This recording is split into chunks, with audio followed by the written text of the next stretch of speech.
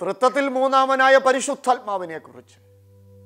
ആഴമേറിയ ദൈവവചന പഠനത്തിനുള്ള അവസരം നമ്മുടെ പ്രിയപ്പെട്ട പവർഷൻ ടി വി നമുക്കായി ഒരുക്കുന്നു. നാളെ രാവിലെ പത്തര മുതൽ ഒരു മണി വരെയും തുടർന്ന് ഏഴ് മണി മുതൽ എട്ടര വരെയുള്ള സമയം വൈകുന്നേരത്തുമായി ക്രമീകരിച്ചിരിക്കുന്ന അനുഗ്രഹിത ശുശ്രൂഷകളിൽ മറക്കാതെ പങ്കെടുക്കുക അനുഗ്രഹം പ്രാപിക്കുക.